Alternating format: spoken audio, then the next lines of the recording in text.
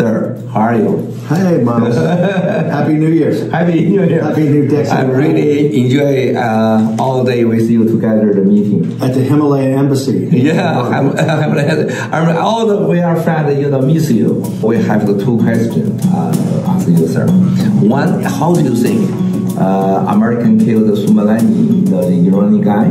You think this the this a big, big, you know, deal, big time?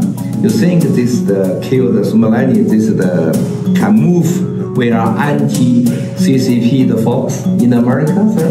Listen, I think that look, Soleimani is a bad guy, yeah. but let's talk what he's been doing. Why was Soleimani even able to be targeted by the Americans?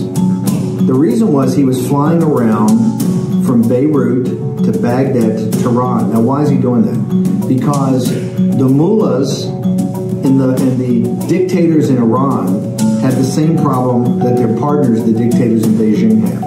Hong Kong, Beirut, Baghdad, and Tehran on the streets is all the same. Young people, millennials, that are tired of dictators that have bankrupted their countries, you know, taken all their money and not left them with opportunities and taken away their freedom. So whether it's in Hong Kong, in Beirut, in Baghdad, or in Tehran, it's all the same. And I think what's going to come out of this, which I think is going to be positive, are people are going to start asking the question with the sanctions on uh, the mullahs, how do they actually get their money? Who do they sell the oil to, and where do they get their cash from? And that's the CCP. Uh, I think we'll make it very evident over the next days and weeks ahead why Soleimani is just a uh, he's just a gangster, right? He's just a, he's a gunman. He's just a gunman. He's a guy on the trigger. Yeah. Very brilliant. He's a brilliant guy. Nobody doubts that but he's the gunman, right? Who are the puppeteers? Who's pulling the strings? It's the it's the mullahs in Tehran that are opposed to the young people in the streets, just like it's Wang Qishan and uh, Xi in Beijing that are doing the same thing to the young men and women in Hong Kong.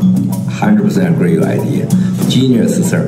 呃哎，刚才我补充一下，抱歉啊，呃，在这个中间的时候，这个班农先生特别强调，这跟西和王和北京的政权啊，中共的集权是有绝对的关系的，而且是为什么说伊朗他现在制裁的情况下，他还能获得那么多的外汇和财富，就是因为中共在给他买他的油，还提供了巨大的这个经济支持，包括他们的武器和技术都是来自于中共。刚才班农先生讲的这个啊。